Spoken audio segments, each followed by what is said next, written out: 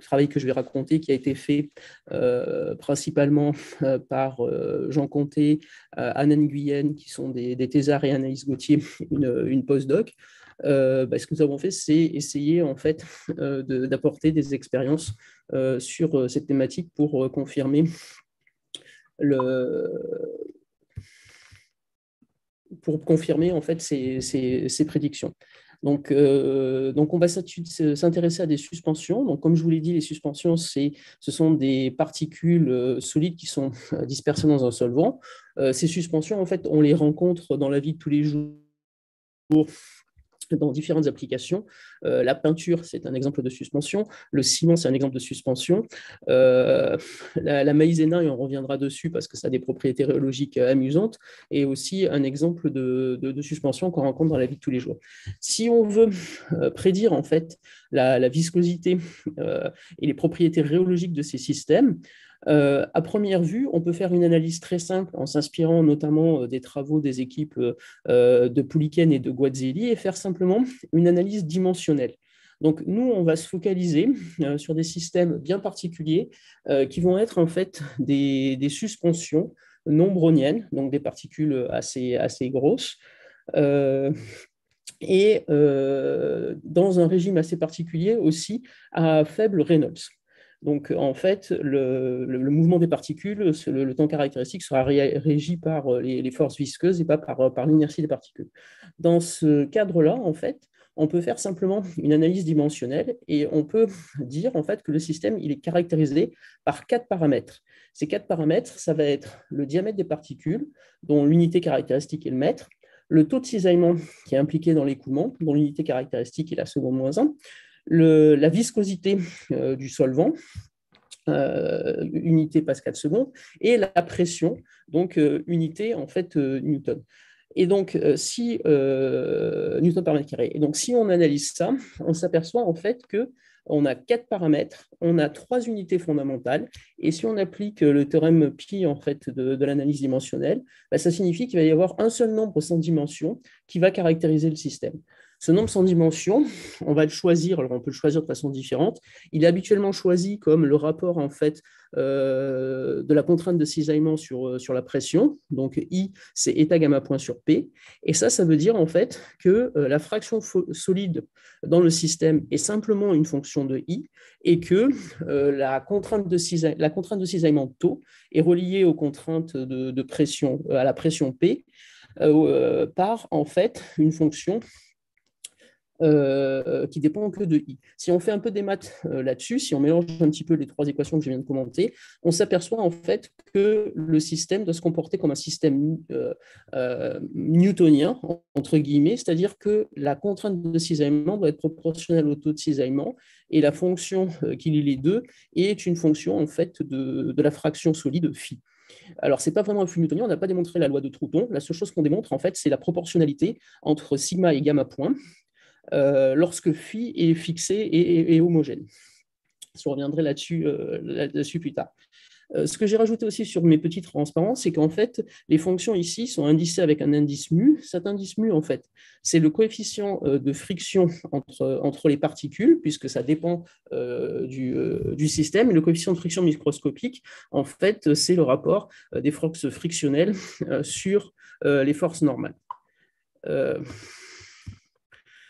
Euh, il y a pas mal de gens qui ont fait des simulations numériques et qui ont justement euh, essayé, à travers des simulations numériques, euh, de rendre compte de l'évolution des lois de viscosité en fonction de ce coefficient frictionnel, donc la loi état de phi que je vous ai présenté précédemment. Et ce qu'on voit, en fait, c'est que pour des particules qui sont en contact lubrifié, donc pour un mu microscopique de 0, en fait, on a une divergence de la viscosité vers 0,64, et cette divergence de la viscosité, en fait, euh, est ramené à des plus petites fractions solides lorsque le coefficient de friction euh, prend de, l'importance. Donc ça, c'est des simulations numériques qui ont été faites euh, par Hugues Bodigel récemment à, Grenoble.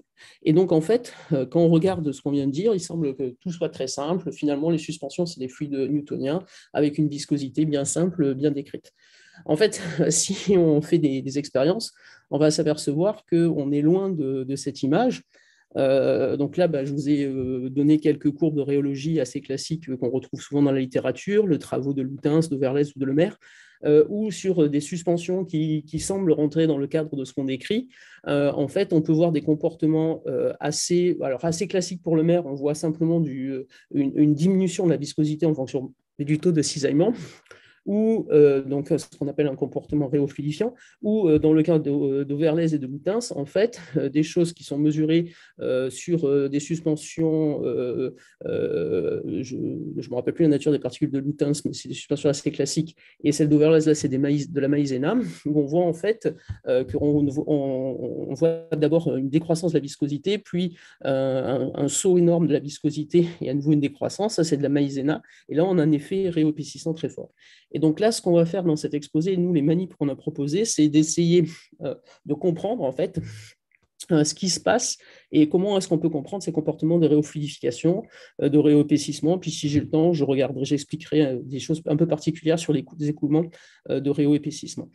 Alors, les systèmes qu'on utilise, en fait, ce sont des systèmes assez simples. Ce sont des billes de polystyrène, vous voyez, assez rondes, qui font une vingtaine de microns.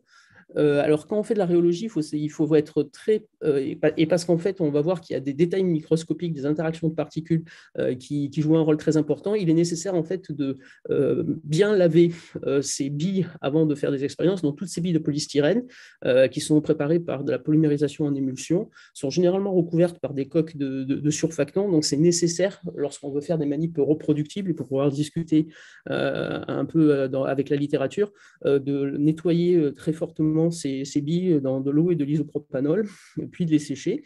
Donc, c'est ce qu'on fait. Donc là, vous avez des images de, de microscopie électronique. Et on va utiliser deux solvants qui sont des solvants un petit peu classiques, une solution euh, aqueuse euh, dans laquelle on met un sel, le, NaI, et puis on met aussi un peu d'isopropanol pour permettre en fait de, rendre les billes un peu hydrophiles et puis rentrer dans, l'eau, et puis une solution d'huile silicone avec une viscosité de 19 millipascal. On regardera aussi une solution de polyéthylène glycol qui a une viscosité plus importante. Mais l'ensemble des solvants est newtonien. Alors, quand on fait les expériences, vous allez voir que les manips de rhéologie, ce n'est pas forcément quelque chose de très, très simple.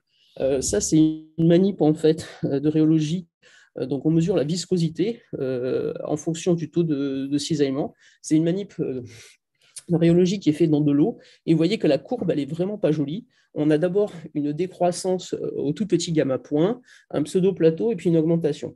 Alors en fait, si on analyse pour l'eau ici euh, vraiment les courbes et en les prenant vraiment de façon, simple, en fait, il y a beaucoup de parties qui sont des artefacts. C'est-à-dire que la partie de gauche, euh, où on voit des points assez, assez bruitato, petit cisaillement, c'est que le rhéomètre, il n'est pas capable de mesurer en fait euh, ce genre de viscosité parce que le couple du rhéomètre est beaucoup plus, le couple minimal qu'il est capable de mesurer est beaucoup plus grand en fait que ces valeurs.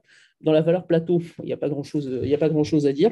Ensuite, on a une remontée, et en fait, cette remontée, elle correspond à une hypothèse que je vous ai signalée au départ, elle correspond à la transition euh, vers l'inertie.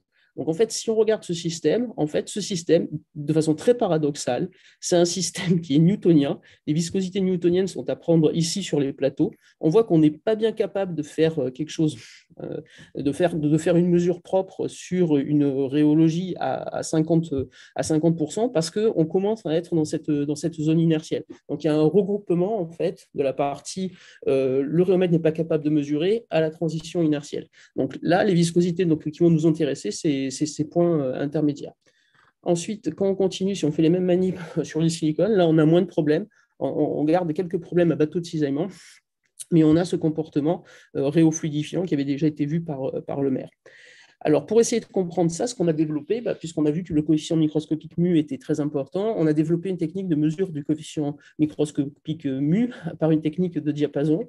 Alors, ce qu'on fait, c'est qu'on vient, donc c'est une technique qui est inspirée en fait des travaux de Lidéric Bocquet et d'Alessandro Siria. Euh, c'est eux qui nous ont bien aidés pour mettre en place ce, dispositif. Donc, euh, ce qu'on fait en fait, c'est qu'on vient euh, coller sur une pointe en tungstène en fait les billes d'intérêt. Donc là, vous voyez une bille de PVC qu'on regardera plus tard, qui est toute petite, qui fait un micron, mais on peut coller des billes beaucoup plus grosses. Typiquement, les billes de rayon 40, de diamètre 40 microns qu'on a étudiées en rhéologie. Ensuite, on colle sur un substrat, on sur le substrat en fait qui est un wafer de silicium, on dépose euh, de la colle héraldite, on saupoudre euh, euh, en fait notre suspension là-dessus, les billes restent collées, on met une goutte de, solvant et on vient analyser la courbe de résonance du diapason en fonction de la distance entre, entre les deux billes. Et donc, sur ce diapason, il y a deux modes, en fait. Il y a un mode euh, d'excitation normale et un mode d'excitation tangentielle qui sont à deux fréquences très différentes. Donc, on peut suivre euh, les courbes de résonance des deux facilement. Et à partir de l'analyse euh, de l'amplitude de ces courbes, à partir plutôt du shift en fréquence de ces courbes, on est capable d'avoir le gradient de force entre les deux billes et euh, à partir de l'analyse euh, de, de l'amplitude, donc c'est un, petit peu, compliqué en fait, on, met une excitation de façon à avoir toujours la même amplitude de, de résonance et c'est à partir de l'analyse de cette excitation, on est capable d'avoir accès aux forces dissipatives. Donc ça, c'est euh, exactement ce qui est écrit, euh, ce qui est écrit ici euh, dans ces équations un petit peu compliquées. Donc le shift en fréquence va nous donner le gradient de force, et puis le facteur de qualité va être relié aux, forces dissipatives. Alors, si on fait ça sur l'eau, là, donc, on, l'a fait, vous voyez, c'est Anne qui a fait ces manips, et c'est des manips assez, il y, a, beaucoup, beaucoup d'expérience, puisqu'il a fait des manips à peu près. Là, il y a une vingtaine de billes qui sont présentées, mais il a à peu près fait une cinquantaine de billes. Donc, euh, chaque fois, il refait, il refait la manip. Donc, on voit euh, qu'on mesure quelque chose avec une certaine euh, bonne statistique. Donc, ce qu'on voit en fait, c'est que euh, on est capable de mesurer la force normale en fonction euh, de la, distance entre les deux billes. Là, le zéro, il est défini comme étant en fait le moment où les forces dissipatives commencent à, commencent à croître. Donc, si on regarde les forces conservatives normales, ce qu'on voit, c'est qu'on a d'abord, si on analyse les courbes, on a d'abord une première partie élastique, puis ensuite une partie, une partie plastique et on est capable de mesurer la force dissipative. On voit que la force dissipative reste faible en fait dans la zone élastique qui va jusqu'à peu près 15 euh, nanomètres et puis euh, augmente derrière. Euh, si on plotte les forces dissipatives en forçant des forces conservatives, on voit qu'on a à peu près une droite. Ça aurait été mieux si je l'avais ploté en log, mais vous auriez vu qu'on avait à peu près une droite qui restait, qui restait constante sur l'ensemble des forces. Et donc, on peut définir un coefficient mu à peu près proprement. Donc, vous voyez qu'il y a quand même une statistique, c'est des manips euh, qui, mettent en jeu des mesures au nanomètre, donc il y, a un peu de bruit, etc. Mais on voit qu'on a une, un coefficient mu qui reste à peu près constant pour euh, le système dans l'eau euh, jusqu'à, on va dire, 2 10 3 micronewtons de force normale. Si je fais la même manip dans l'huile, euh, je vais, euh, donc c'est exactement le même principe. Il y a exactement euh, le, même nombre de, particules qui ont été, qui ont été mesurées. là, il n'y en a que 13 qui sont présentées, mais on en a mesuré la même chose. Là, ce qu'on voit en fait, on voit que les courbes sont différentes. Donc ça, a priori, c'est un petit peu surprenant. Donc on voit que le solvant a un rôle vraiment sur ces, ces, mesures de force entre particules, puisque les particules sont exactement de la même nature. ce qu'on voit en fait, c'est que le régime élastique ici est beaucoup plus large il va jusqu'à euh, quelque chose comme 40, euh, 40 euh, nanomètres. Ensuite, on a un régime plastique. On voit une, c'est la zone en fait, je ne sais pas si vous voyez ma flèche, mais c'est la zone où on a la forte augmentation. Et ce qu'on voit surtout, les conséquences de ça, c'est que le coefficient de friction, en fait, pour le silicone, ne dépend en fait de la force normale. Donc, dans la même gamme de mesures, on voit qu'on a une variation du coefficient de friction de, de 3 en fait à quelque chose comme 0,15 en fonction de, la force normale. Et donc, on voit qu'on a une zone ici, euh, comme je vous dis, élastique qui est un peu plus grande. Si je fais la même chose dans, le PEG, dans le polyéthylène glycol, alors là, c'est très surprenant parce qu'en fait, ce qu'on arrive, euh, ce qu'on arrive à voir, en fait, c'est des profils euh, très variables. Donc, vous voyez ici qu'on a des échelles de, de 300 nanomètres, alors qu'avant, on était sur des zones beaucoup plus petites. Il semble qu'on ait des forces normales qui apparaissent avant le zéro, avant le contact, et en fait, là, ce que ça sous-entend très fortement, c'est que le, solvant est en train de gonfler énormément le PEG, euh, que le PEG est en train pardon, de gonfler énormément euh, les billes euh, de, polystyrène. Et en fait, on est en train de générer un système mou. Donc ça, c'est quelque chose qu'on ne peut pas voir quand on fait les manips de rhéologie ou qu'on ne peut pas voir de façon simple. Il faut vraiment passer par ces manips. Et c'est un système très particulier parce que finalement, on a un coefficient de friction qui est pratiquement nul jusqu'à des forces de 100 micronewtons. Et derrière, on rentre dans un régime un peu compliqué et, assez original où on a un coefficient de friction qui croît avec la force normale. Et on peut voir aussi, là, là ces manips-là peuvent nous sembler très irreproductibles. En fait, elles sont simplement, simplement des manips dans le temps. C'est-à-dire que si on attend, eh bien, en fait, on voit que la zone euh, dans laquelle le, solvant pénètre la bille devient de plus en plus grande, puisque ça, c'est les manips euh, au bout d'une quarantaine d'heures, et ça, c'est les manips initiales. Alors, quand on a toutes ces manips, on a ce coefficient euh, mu et qu'on a bah, les manips de force normale par, le maire et collaborateurs, qui permet en fait de lier le, qui permet en fait de lier euh, le coefficient, euh, donc alors le coefficient mu à la force normale, ça c'est expérimental. On peut essayer de faire un fit avec les, théories euh, classiques, mais ça, c'est expérimental. Euh, ce qu'on peut faire, c'est de dire aussi que cette force normale se relie à euh, la contrainte de cisaillement simplement par analyse dimensionnelle, et on peut utiliser une modélisation de la viscosité en fonction du coefficient de friction, comme celle ici qui a été proposée à la fois par Keynes et à la fois par le maire, et des simulations numériques permettent de prédire le coefficient alpha de mu et le phi de mu. Et quand on euh, met nos paramètres mesurés en fait dans ces, euh, dans ces équations, ben, on rend parfaitement compte en fait euh, de la variation de viscosité dans le cadre de l'huile silicone. si on veut aller un peu plus loin avec la comparaison des manips, ce qu'on peut faire, c'est, donc là, vous voyez qu'il y a beaucoup, beaucoup de points, c'est des points qui, proviennent de la littérature, des études de Guillaume Overless, parce que Guillaume travaille aussi énormément en collaboration avec sur ces sujets euh, précédemment où des mesures de viscosité ont été faites euh, dans des dispositifs euh, en utilisant la RMN pour éviter en fait les problèmes de migration de particules et donc d'avoir des mesures locales. Donc là, ce qui a été reporté, c'est pour les trois systèmes en fait, les viscosités divisées par les viscosités du solvant à des taux de cisaillement très faibles et on prédit en fait avec les équations euh, de Lemaire, en fait, on prédit les variations euh, de phi et la divergence de phi en fait euh, en fonction du coefficient mu qu'on a mesuré. Donc on voit qu'on a un très bon accord. Alors le, pour l'eau et le silicone, je vous ai présenté les données. pour le PEG, en fait, ça peut être un peu surprenant parce que le coefficient mu est égal à 0, donc a priori la courbe noire devrait être verte. En fait, ce qu'il y a, c'est qu'on a pris en compte le gonflement des particules et la courbe se situe là parce qu'on a rescalé les phi en phi effectifs en prenant en compte euh, la partie gonflée. Donc en fait, euh, ce qu'on voit ici, c'est qu'on a une, bah, bonne explication de la rhéologie des, systèmes euh, et des propriétés non newtoniennes, donc simplement le, shear finning. On explique aussi bien la divergence de concentration si on est capable en fait, de mesurer ce coefficient de friction microscopique entre billes.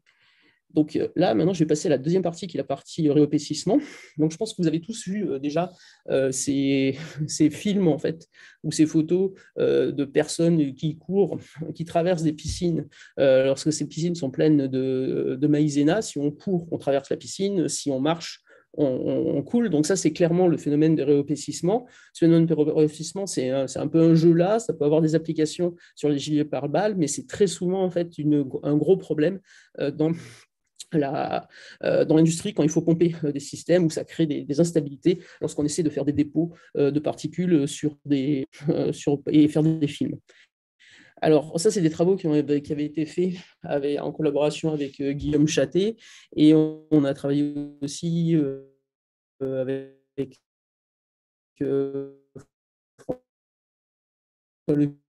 sur, sur ces système-là. Donc, elles font un micron. Elles sont suspendues de rayon, elles sont suspendues euh, dans, un solvant euh, qui s'appelle le DINCH, et on est capable, euh, en utilisant en fait à la fois un rhéomètre classique et puis des rhéomètres capillaires, de mesurer la courbe de viscosité sur plus de 5-6 ordres de grandeur de taux de cisaillement. Et on voit qu'on a d'abord un phénomène de réofluidification, un réopississement, puis une réofluidification. Et donc, on a essayé de comprendre ça bah, dans le cadre un peu des modèles qu'on vient de présenter. Donc, une caractérisation des particules, euh, voilà, donc vous voyez des photos de particules lorsqu'elles sont sèches, lorsqu'elles sont en solution, elles sont désagrégées.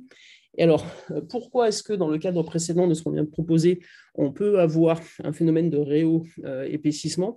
Ben, En fait, c'est assez simple. C'est que euh, le, lorsque lorsqu'on fait croître le, le taux de cisaillement, ce qui va se passer, c'est que les forces normales, la pression particulière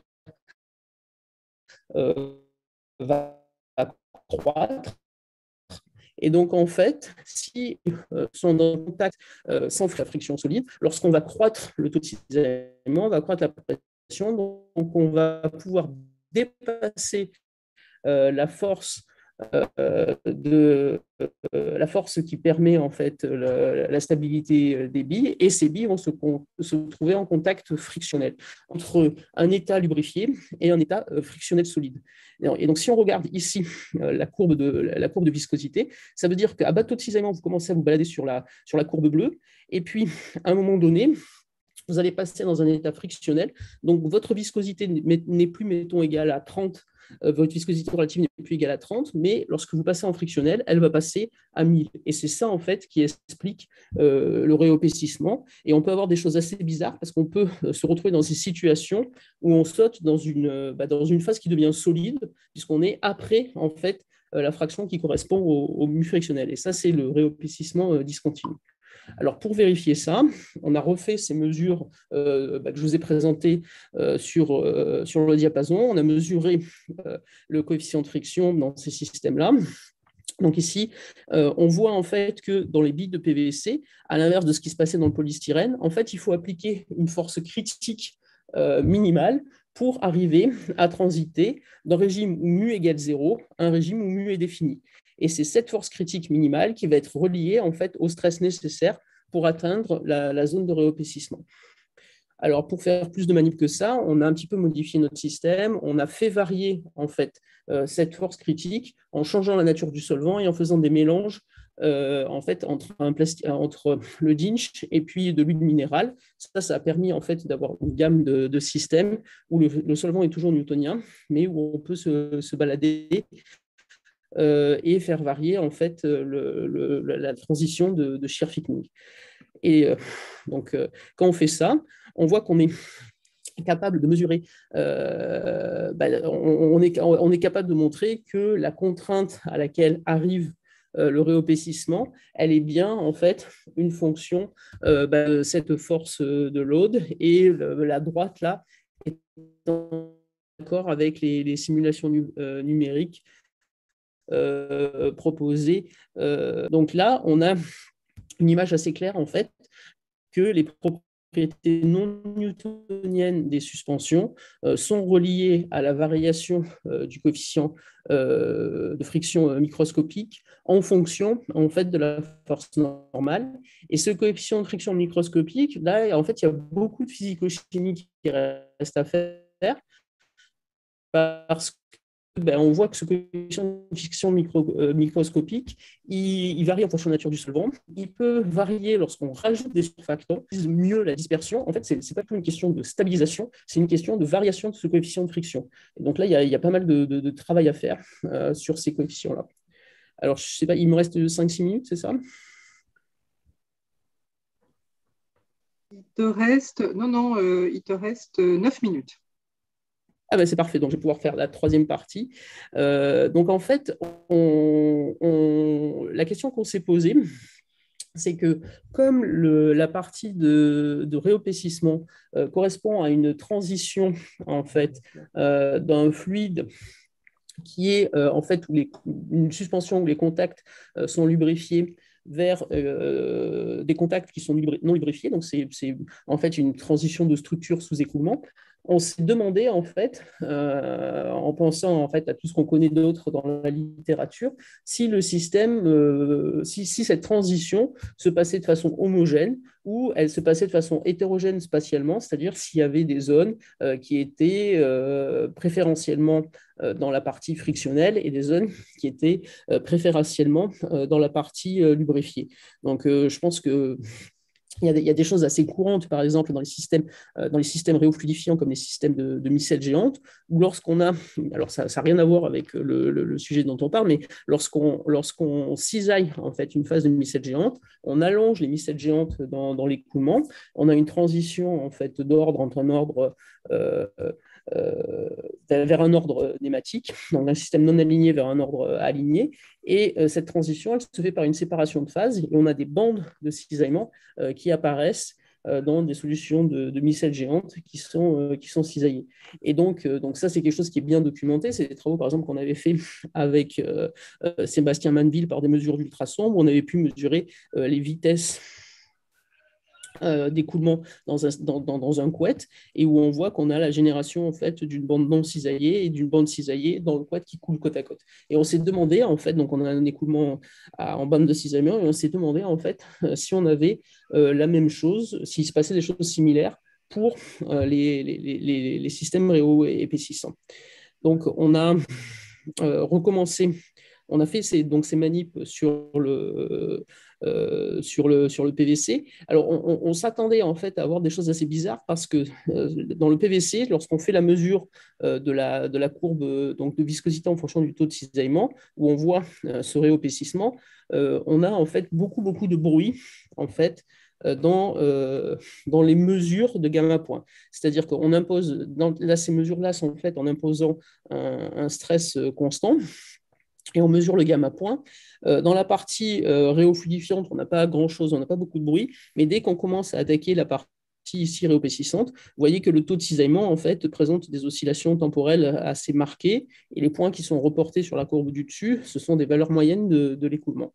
Alors ça, c'est une manip euh, qu'on a faite euh, c'est des manips qui, ont duré euh, plusieurs années, qui ont été faites sur 2-3 ans avec, euh, avec Guillaume Overlez. Donc, il y, a, Guillaume Châté qui a participé à ça, mais il y a aussi Anne et puis Wilbert Smith qui ont participé à ces manips. Donc, ce sont des expériences qui ont été faites à Bordeaux, à Placamat, où il est possible, en fait, de faire de la tomographie X en fait sur un échantillon placé dans un réomètre. Donc en fait, le principe, alors on va utiliser la tomographie pas du tout pour faire de la tomographie. On va utiliser la tomographie pas pour faire pas pour faire de la tomographie, mais juste pour avoir une caméra X qui est assez rapide. Et on va simplement utiliser la loi de Beer-Lambert euh, pour avoir accès en fait au profil de densité euh, de, des particules, parce que les, particules euh, absorbent de façon différente en fait que le solvant les rayons X, et donc on peut avoir un contraste comme ça et avoir accès à la mesure, à la mesure de phi. ce qu'on voit sur, sur ce graphe-là, c'est que lorsqu'on est en fait euh, dans la, zone, euh, dans, la zone avant la transition de réépaississement, les profils sont assez homogènes en phi, donc on voit qu'on est centré autour de la, fraction euh, de référence 1. Par contre, lorsque donc, on va passer dans la zone de réépaississement, on voit passer, donc on voit que là le graphe change, on voit des, bandes jaunes qui sont en alternance avec euh, des, bandes bleues. Donc en fait ça c'est euh, la valeur moyenne de ce qu'on voit passer ici. Et si on regarde plus en détail une carte instantanée, euh, bah, ce qu'on voit c'est que les zones bleues correspondent à quelque chose d'assez homogène et les zones jaunes en fait correspondent à des bandes de particules qui sont très proches du rotor et très concentrées. Donc là on a 6% d'augmentation de la concentration, donc on, on voit passer en fait dans l'écoulement et ça, c'est de façon, et c'est de façon assez bizarre. On voit passer ces bandes-là dans le sens de l'écoulement. Donc ça, c'est des bandes qui n'avaient jamais été vues sur aucun autre système. D'habitude, on voit des bandes dans le sens du cisaillement ou dans la vorticité. Là, c'est vraiment des, des, bandes qui, qui, tournent dans le sens de la vitesse et qui tournent à euh, une vitesse qui est différente de la vitesse euh, du rotor. Donc on a des grumeaux, si vous voulez, des zones plus concentrées euh, qui, qui se déplacent. Ça, ça a été confirmé plus récemment par Anaïs Gauthier sur des mesures un peu différentes on a développé au labo en fait un capteur de pression de force normale euh, qui est fait avec des matériaux électrostrictifs.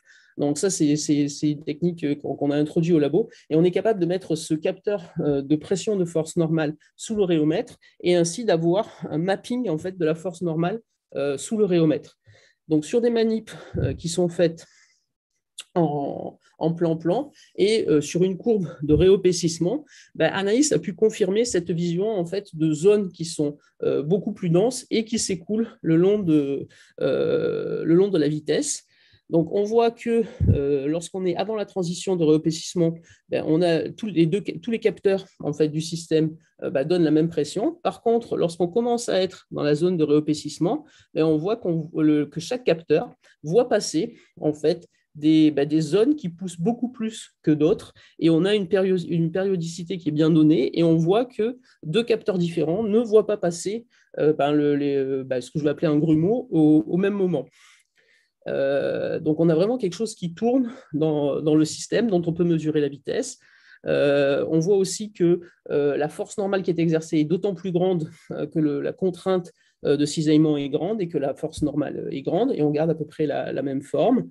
Euh, et on va avoir euh, des, signaux aussi qui, qui, deviennent de plus en plus complexes lorsqu'on augmente la concentration en particules. Ça, c'est des signaux qui ont été obtenus euh, pour des particules, pour des particules qui sont beaucoup plus concentrées, et on voit des, bah, des, tailles de paquets qui finalement, on les analyse, sont plus larges et poussent, de façon, poussent verticalement de façon vraiment très importante.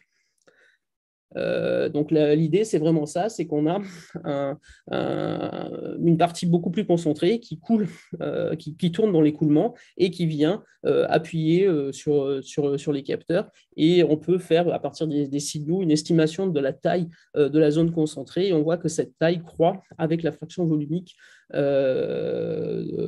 particules. Euh, donc ça, c'est exactement les résultats qu'on a. Donc c'est des résultats sur la maïzena comme les résultats précédents. Avec, en fait, on confirme sur la maïzena ce qu'on a déjà vu sur le DINCH, en fait, en manip euh, de rayons X. Euh, donc pour, pour, pour, résumer un petit peu ce qu'on a vu sur le, sur le réépaississement, en fait, pour comprendre pourquoi on a des systèmes réopécissants ou non, et quels sont les ingrédients de base qu'il faut avoir pour avoir un système réopécissant, en fait, ce qu'il faut avoir, c'est une force répulsive. Euh, lorsque le, le taux de cisaillement croît, bah, la pression entre particules croît. Euh, ça induit en fait que la force répulsive entre particules est, dépassée. On a euh, le coefficient de friction euh, qui varie et on a une transition entre des contacts lubrifiés et des contacts solides. Et lorsque on fait s'écouler le système, ben on a ces bandes, ces, zones en fait concentrés qui apparaissent. Alors ça, on n'a pas d'explication à ce moment-là, actuellement, pour, pourquoi, pour comprendre ces zones-là. Par contre, ce qu'on comprend, c'est leur répercussion sur l'écoulement, c'est que le repécissement euh, en 3D bah, crée ces zones très concentrées qui avancent selon la vitesse. Ces zones, en fait, elles induisent euh, bah, des, des, forces en fait sur, par exemple, l'axe du réomètre.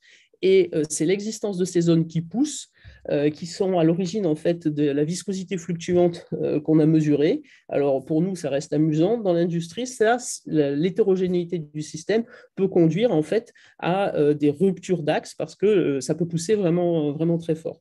Donc, ce qu'on comprend, c'est que cet écoulement 3D peut avoir des conséquences bah, dévastatrices en fait sur, dans, le monde industriel, et c'est quelque chose qui est bien connu puisque les industriels cherchent fortement à éviter les systèmes réopécissement. Euh, voilà. Donc, euh, euh, en conclusion, ce que je peux dire, c'est qu'on commence à comprendre en fait bah, les phénomènes de réopécissement, de réophidification aussi. Sur le réopécissement, on voit ces ondes de densité qui avancent le long de l'écoulement. Là, de façon très claire, il faut, apporter des nouveaux outils pour modéliser en fait ces, écoulements. Et ça, c'est n'est pas, pas du tout fait. On ne comprend pas encore bien ces instabilités et pourquoi elles se génèrent, elles se génèrent comme ça.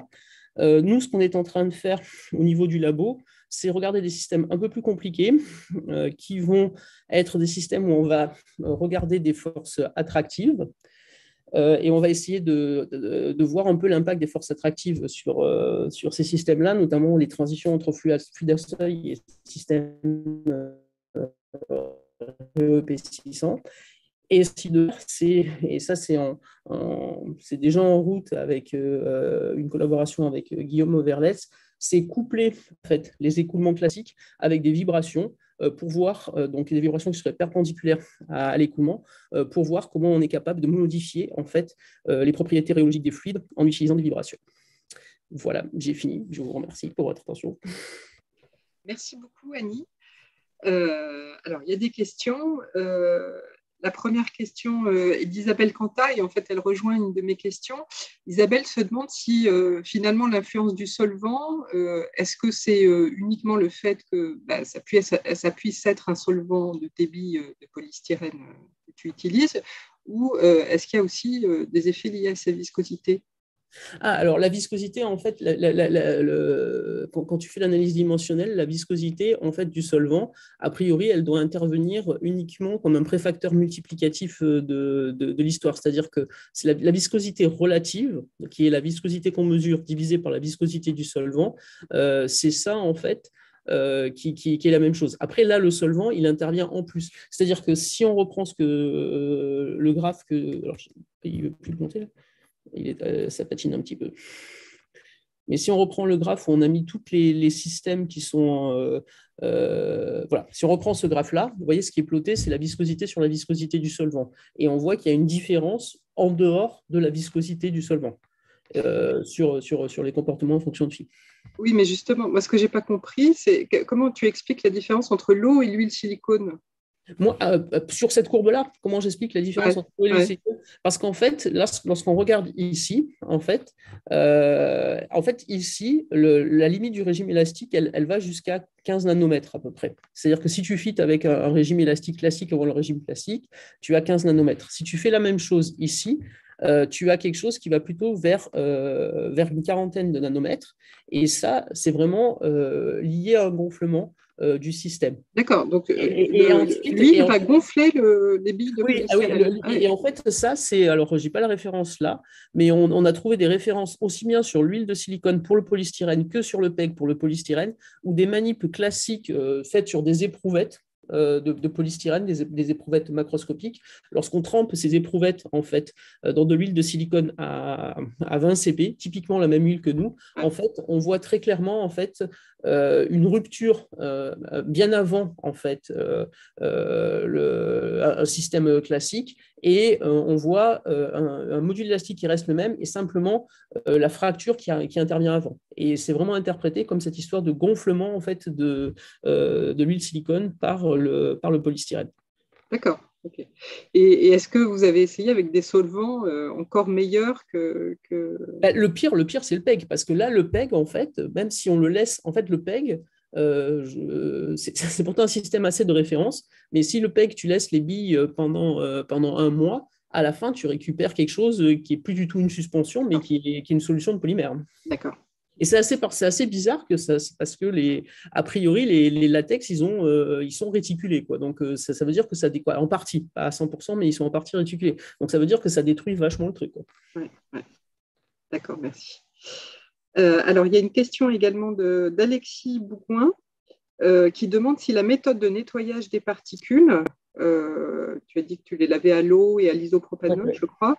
Euh, quand tu prépares les suspensions, est-ce euh, est qu'elle peut affecter l'état de surface des particules et donc les interactions microscopiques? Alors, ça affecte de façon très claire la. Alors, alors l'état de surface, on n'a pas été capable, lorsqu'on a fait de la microscopie électronique, là, de, de voir grand-chose. On ne voit pas de forte différence. Par contre, on voit euh, quand on fait les mesures, si on fait les mesures dans l'eau, là, le coefficient de friction auquel on arrive, il est vers euh, quelque chose comme 0,15. Euh, si on fait les mêmes mesures dans l'eau sur des particules qui ne sont pas nettoyées, on a un coefficient de friction plus faible, qui est pratiquement d'ailleurs euh, du 0,0, euh, qui est pratiquement nul. Quoi. Et ça, ça fait que finalement, sur ces particules-là, on, on a aussi une rhéologie qui est décalée et on a des contacts qui sont euh, bah, pratiquement à mu égale 0 avec ce, ce, surfactant. Donc, on ne l'a pas vu sur les images, par contre, on l'a vu sur les mesures. Euh, alors, il y a une question d'Alexandre Valence qui se demande euh, quelle est la taille des capteurs de pression et leur sensibilité? J'imagine que c'est dans la dernière partie que tu as montrée pour la, force normale. Oui, alors, euh, alors, la taille des capteurs de pression, donc là, l'image est là. Donc, en fait, ils font 4 mm sur 4 mm et on est capable de détecter euh, la, sensibilité est donnée ici. Euh, Anaïs, elle aime bien donner des grandes barres d'erreur. Donc 5 euh, pascal, moi je dirais qu'on est capable d'aller jusqu'à 2 pascal. D'accord. Et alors après, il y a deux questions sur les, grumeaux. Je vais essayer de faire une synthèse des deux questions. Donc c'est Élise Laurenceau et Blood, Metzger. D'abord, est-ce que les grumeaux, c'est en fait des, des endroits, des zones plus concentrées ou juste euh, plus visqueuses? Euh, et puis, est-ce qu'on peut remonter à la vitesse euh, de ces grumeaux? Et si oui, de quoi dépenser de vitesse? Oui, alors la, réponse sur, la réponse sur plus concentré et plus visqueuse. Alors, la réponse pour plus concentré, donc là, j'ai présenté Clémanip sur le PVC. Euh, mais on a la même chose sur la, sur la maïzena. Et dans les deux cas, euh, bah, les bandes en fait, qui passent sont des bandes qui sont plus concentrées. Donc ça, ça a été mesuré de façon quantitative par, euh, par RX. ce qu'on voit sur les... Ce qu'on voit sur la manip avec les, capteurs d'analyse, c'est des zones qui poussent plus fort, donc qui ont des forces normales plus, importantes. donc ça, ça, ça, c'est clair. Et ensuite, euh, oui, alors je n'ai pas présenté ça, mais euh, Anaïs a fait énormément d'études en fonction euh, de la. Donc la vitesse de rotation ici, c'est pas la vitesse de, rotation, la vitesse d'avancée du grumeau entre guillemets, c'est pas la vitesse du rotor. On a une variation de, de, cette vitesse et cette vitesse, elle varie à la fois en fonction de la fraction solide et la chose qui nous a plus surprise, elle varie aussi en fonction de la taille du gap. Mais on a Ça, c'est des données expérimentales, ça caractérise l'écoulement, on n'a aucune explication à ça. Et, c'est assez. Euh, les, modèles, en fait, notamment de Marie, euh, prédisent. Euh, bah, les gens, ils prédisent plutôt des bandes, mais de vorticité ou de cisaillement, et pas du tout des bandes dans, dans ce sens-là. D'accord. Donc, il vous reste plein de choses à comprendre. Ah, bah, là, oui, mais, là, je pense que nous, en termes de données, on a fait ce qu'on a pu. Je, le, quoi, oui, à comprendre, c'est sûr qu'il reste des choses à comprendre. Très bien. Euh, est-ce qu'il y aurait une dernière question? Vous pouvez lever la main pour que ça soit plus rapide.